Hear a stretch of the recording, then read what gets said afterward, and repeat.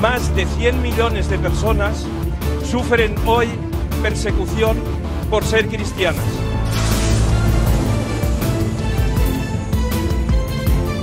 El año 2015 es un, un, año fundamental para eh, el futuro de España. Yo confío al 100% en la sociedad española. Las principales amenazas van a ser las mismas amenazas de los últimos años. Desde Más Libres vemos que 2015 va a ser un año eh, lleno de retos. Estoy muy contento y muy satisfecho. Nos encontramos con un centro derecha, con un partido centro derecha, el Partido Popular, que ha renunciado a defender los valores eh, que siempre ha defendido. Hay un nuevo partido populista de izquierdas, que es, que es Podemos. Esos hipócritas católicos, hijos del franquismo, que gobiernan en este país. Si queremos eh, que el día de mañana eh, tengamos a políticos que defienden los valores en los que creemos, pues tenemos que retirarle el voto al señor Mariano Rajoy, ¿no? que es el, el responsable de, de esa traición y de esa renuncia a defender valores. Hay que perder el miedo, a negar en nuestro voto y nuestra confianza a aquellos que creen que el aborto es un derecho, que creen que se nos puede engañar en temas tan importantes como la defensa del derecho a la vida.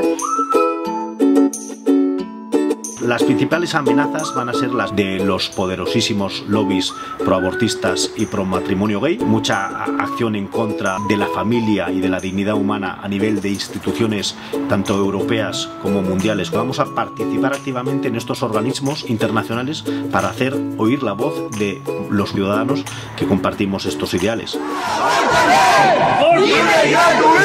Cristianos están amenazados por dos mmm, fuerzas fundamentales. El laicismo que está crecido en España y en Europa como por parte de los ataques del terrorismo islámico contra los cristianos y contra otras minorías religiosas.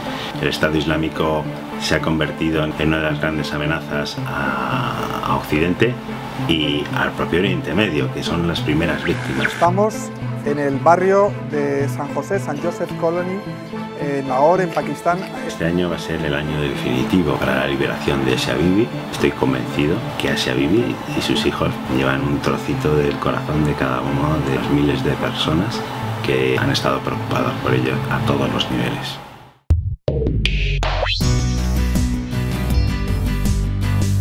Bueno, yo desde luego no me voy a rendir, ¿no? Eh, y yo creo que somos eh, muchos miles de ciudadanos los que a pesar de lo difícil que esté la situación ahora o pueda estar en el día de mañana, pues vamos a seguir movilizados.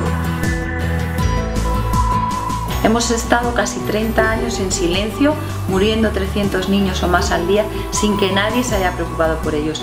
Hemos de mantener el tema de la defensa del derecho a la vida en primera línea del debate político y público. Los que participamos en Citizen Go somos conscientes de que los valores y los principios que nos importan no se defienden por sí solos. No estamos en un mundo que se nos facilita la protección de la dignidad, el fomento de la familia y el respeto de la vida. Estos valores están todos los días atacados. La responsabilidad en este caso es nuestra, de asumir la bandera de la defensa de estos valores.